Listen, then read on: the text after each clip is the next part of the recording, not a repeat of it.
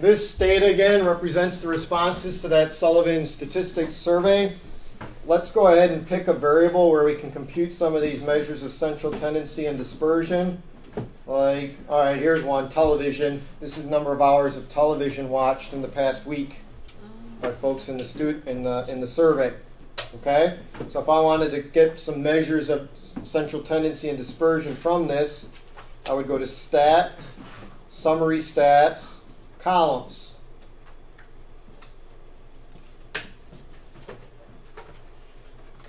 I then tell StatCrunch that I want the television data.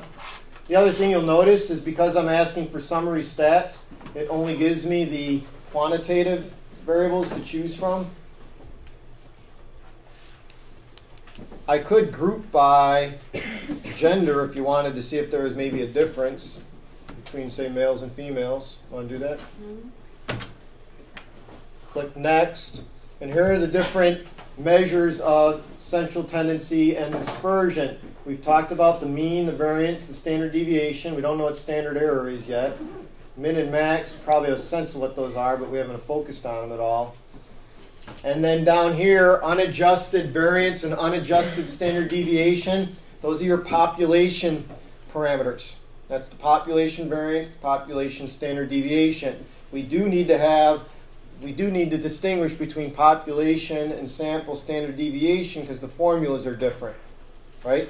Population standard deviation divides by n, the size of the population.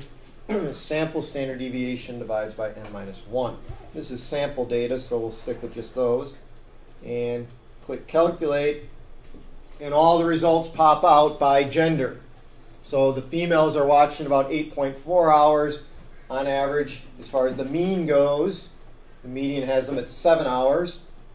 The males are watching about 10.9 hours by the mean, 10 hours by the median. And by the way, if you look at the mean and the median for the males, they're pretty close. For the females, the mean is a little bit bigger, which might be suggestive that that data is skewed to the to the right. And then there's your variance and standard deviation. And in fact, if we wanted to look at the graphs just for fun to see if that's the case, histogram of, of television, and we need to group by gender so that we can compare the two. I'm not going to put in all the labels or the class limits and put them right on top of each other. Both are pretty skewed to the right, though, it looks like. Right? Mm-hmm. Both are pretty skewed to the right.